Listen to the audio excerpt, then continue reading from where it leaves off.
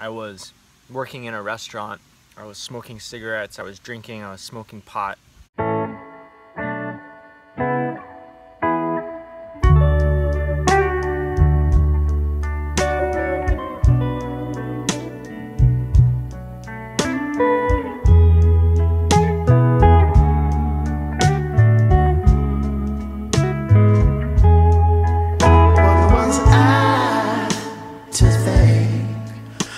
If I show you love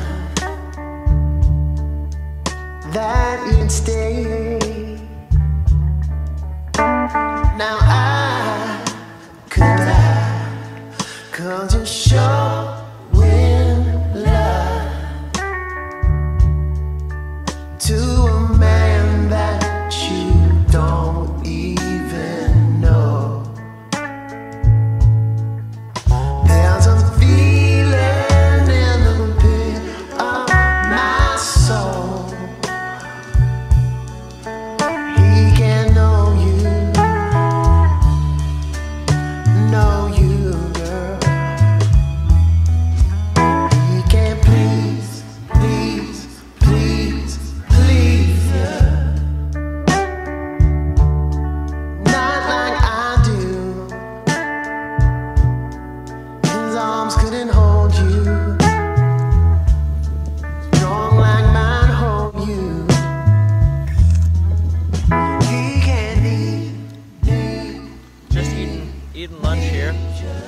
Wanted to um, share with you my experience with um, changing my life for the better. My life was very different about three or four years ago. I was working in a restaurant. I was smoking cigarettes. I was drinking. I was smoking pot. You know, living that lifestyle. Um, in a city, you know, one bedroom apartment, cheap rent somewhere. And um,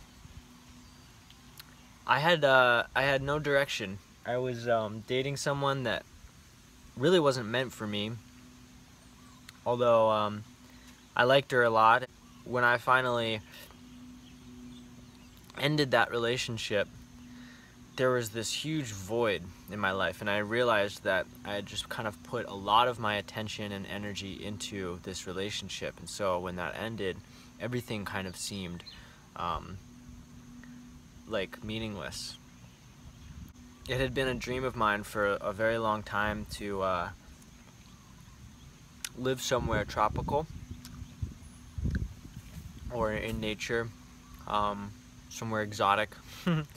and uh, I had visited my sister who had moved to Hawaii about a year before.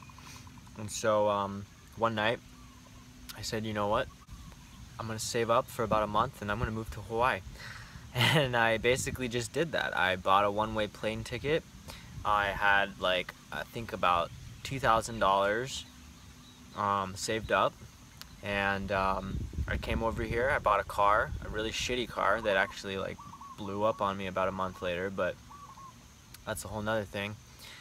Um, but I did it, and I did it without a plan really, and I did it without um, uh, a clear goal in mind really. All I knew was that I needed to do something different, um, and that I needed to make a change in my lifestyle. Um, and so th- this kind of fit both of those uh, categories.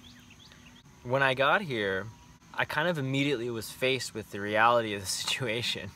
And it kind of forced me to have to make choices and decisions on what I was going to do um, and how I was going to live.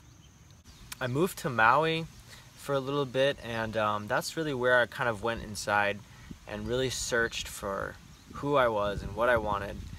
And um, that whole time, the last three years, the last five years, um, a lot of it has been um, feeling a calling towards um, living and promoting a healthful lifestyle and to help to inspire others to do the same for not only ourselves but for the planet.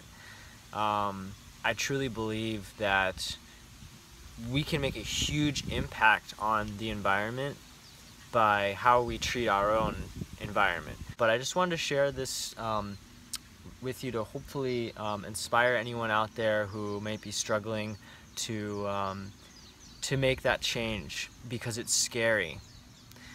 It's scary to quit your job, leave your friends, leave your family, um, and and make a huge dramatic change. I'm not saying that's what everybody needs to do at all. Um, all I'm saying is that, um, you know, if if if your lifestyle and your way of life isn't working for you, um, maybe it it does take something like that to just get you out of that environment, so that you're kind of forced to reform yourself and to to um, reconcile with a lot of your old habits because you can't really notice these habits while you're in them as well as you can when you're outside of them. And that for me was very true with moving to Hawaii.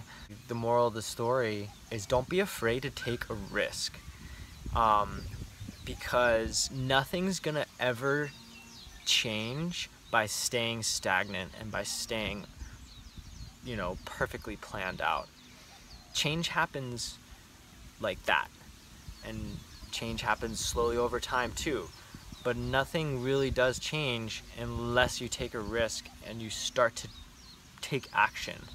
And um, I'm not, like I said, I'm not saying you need to move, you know, 3,000 miles away from home or whatever. Um, but, you know, if it means ending a relationship, if it means quitting your job, if it means moving to a healthier environment where there's more like-minded people around. Um, these are really important things. If you want this lifestyle in your life, you need to surround yourself with that information and those people. Um, it really, really helps. So, anyway, um, aloha from Kauai. It's lychee season here. I am just enjoying this lovely bowl and this lovely, beautiful day. I hope you all have a wonderful day as well and uh, many blessings to you.